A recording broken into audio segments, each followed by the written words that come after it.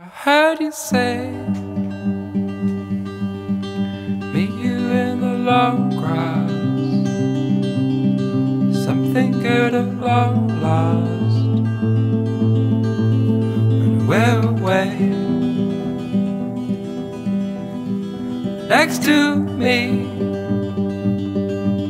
I found you by the. Hello, this is Michele Knight. This is the astrological update for Virgo for the week starting the 18th of April.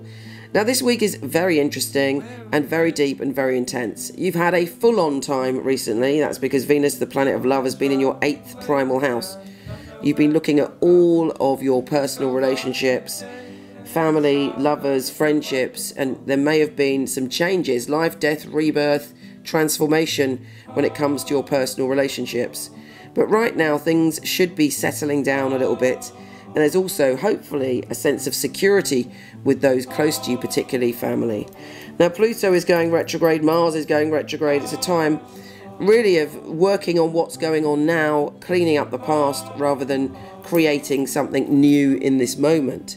Having said that, when it comes to love, there are all sorts of opportunities. There is spontaneous transformation of love relationships this week, and you are determined to transform your life so that you can find peace and happiness.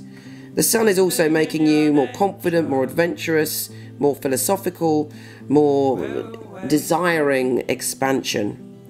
Now, the full moon on the 22nd is in your position of communication.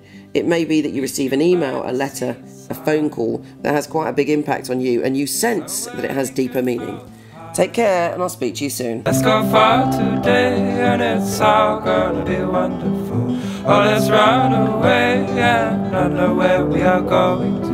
Let's if go you like far this, please today, come to my website where there's thousands of articles from psychic to soulmate and lots of free tarot readings. www.micheleknight.com and for all the written astrology of this month, week, or even day, go to horoscope.co.uk. Take care. Oh. Oh.